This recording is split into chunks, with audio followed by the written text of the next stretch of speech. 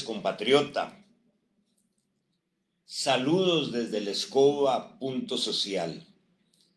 Bueno, hoy vamos a hablar un ratito sobre la Corte Profunda, la caravana de vehículos de lujo Forerunner estacionada frente al edificio de los tribunales de justicia de Limón y un nuevo hecho antiético surgido en la Comisión de Nombramientos del Poder Judicial.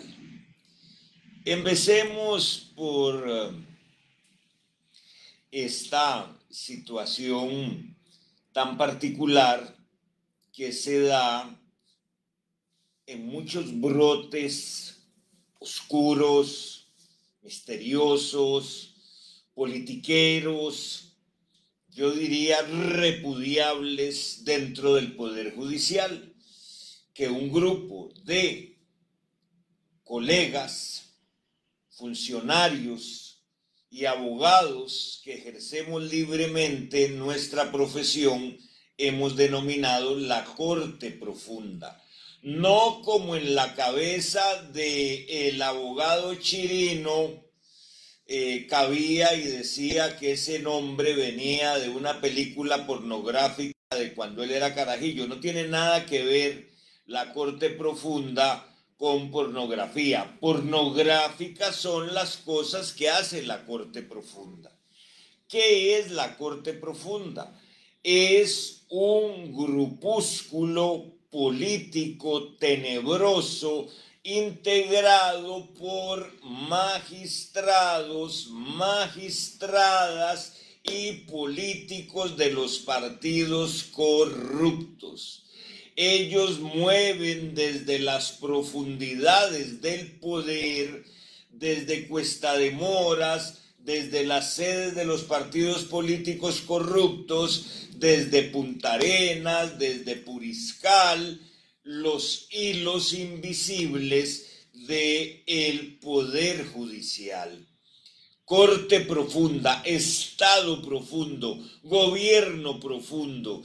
Y hay un personaje, no sé si ahora, como en la corte hablan tan raros, que ya no se llaman jueces, sino que se llaman personas juzgadoras, personas juzgadores, personas imputadas, personas demandadas, eh, aquello es como hablar otro idioma. Esa jerga judicial se torna insoportable a pesar de la publicación, de que se comuniquen bien con, la, con los usuarios, como nos llaman a los ciudadanos, usuarios, como si fuera la Corte Elice o Acueductos y Alcantarillados, usuarios habrá que ver por qué pagamos más, si por el agua, por la luz o por la justicia lenta e incumplida. Que hay corte profunda, hay corte profunda. Pongamos un ejemplo. El día martes 13, martes 13 pasado, se celebró una sesión de la Comisión de Nombramientos del Poder Judicial. ¿Quiénes integran esa Comisión de Nombramientos del Poder Judicial? La magistrada poderosa vicepresidenta de la Corte, presidenta de la Sala Tercera, presidenta de la Comisión de Transparencia, a quien le han tapado dos tortas éticas en la Corte Suprema de Justicia, en la Corte Plena, Patricia Solano, el magistrado Fernando Cruz, el magistrado Luis Guillermo Rivas, la magistrada Julia Varela, el magistrado Jesús Ramírez y el magistrado Luis Fernando Salazar. ¿De qué se encargan ellos?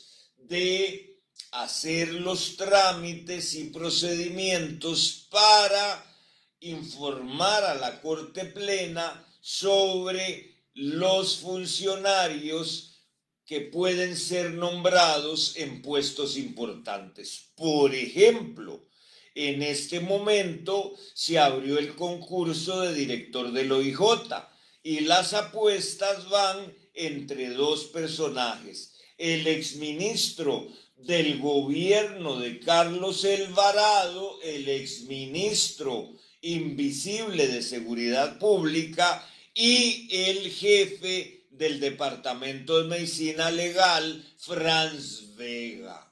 A Francito le tenemos una listica de preguntas para que los magistrados las sepan y se las hagan cuando lo entrevisten. Y a Michael le tenemos otra serie de preguntas también que van desde la información que ocultó para ayudar a la candidatura de Carlos Alvarado y para qué funciona el OPO y otras cositas del OIJ. Pero hoy nos interesa hablar de la elección del próximo integrante del Consejo Superior del Poder Judicial. Tampoco sé si se dice ahora en la jerga judicial integrante. Y es que aquí ha caecido un hecho turbio de profunda violación a la ética ciudadana y a la ética judicial. Y es otro papelón que ha protagonizado Patricia Solano. Vean ustedes, a pesar de que los magistrados integrantes de la comisión de nombramiento el martes le dijeron que debía inhibirse para conocer de lo que ya les comento, no le dio la gana, porque ella es intocable, está por encima de la ética, de la legalidad. Patricia Solano hace lo que le da la gana y la Corte Plena la alcahuetea como en dos hechos de flagrantes violaciones a la ética y a la ley que se los metieron debajo de la alfombra donde se meten los gatos cortesanos. ¿Qué hizo Patricia Solán? Se va a discutir, no sé si le iban a entrevistar o iban a conocer eh, su postulación a la señora oficial de cumplimiento, Kenia Alvarado.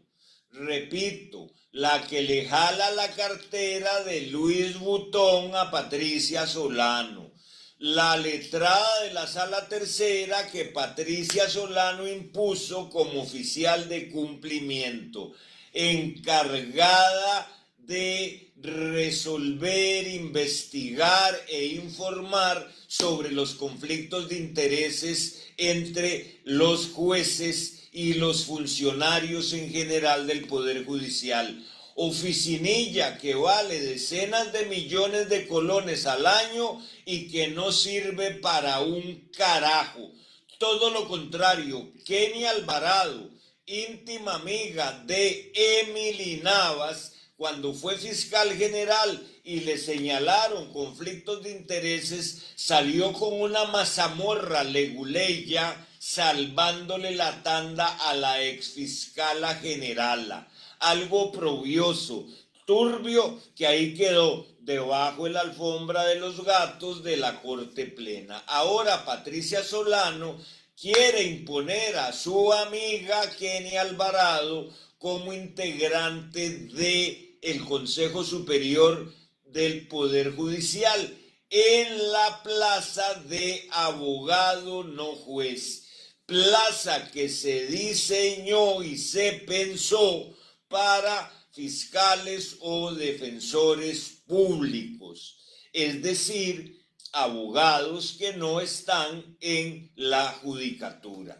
Pero como Kenny Alvarado tiene una gran trayectoria política desde el Ministerio de Justicia, en los tribunales, ha estado muy cercana a los focos de poder judicial, especialmente a la fiscala generala, ex fiscala generala, ahora quiere Patricia Solano convertirla en miembro del Consejo Superior del Poder Judicial. ¿Y dónde está la falta de ética?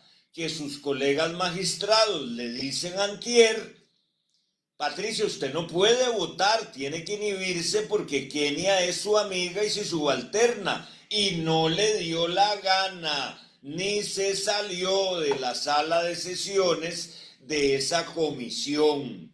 ¿Por qué tiene que inhibirse? Por algo muy sencillo. Patricia Solano es la que califica la evaluación de desempeño de Kenia. Es su íntima amiga. No es correcto, ni ético, ni decente que ella le sume un voto para nombrarla en el Consejo Superior del Poder Judicial.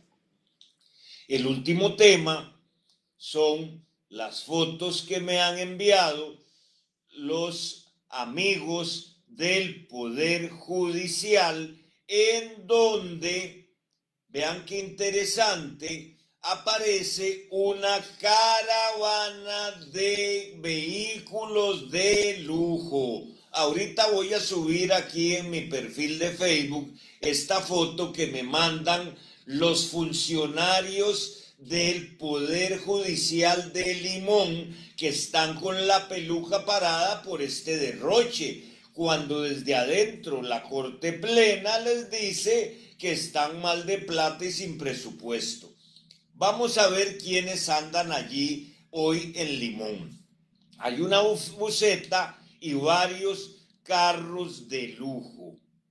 Y los carros de eh, los magistrados, don Gerardo Rubén, don Porfirio y doña Damaris no están ahí, porque ellos tuvieron la sensatez de irse en una, bufet, en una buceta.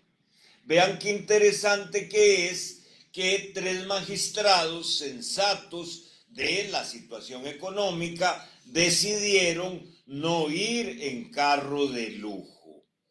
Sin embargo, los otros magistrados fueron en sus Fortuner, afortunados ellos, con sus choferes a una gira a la ciudad de Limón. Derroche de derroches y reconocimiento y felicitaciones a don Porfirio, a don Gerardo Rubén y a doña Damaris, que no derrochan carro oficial y chofer personal.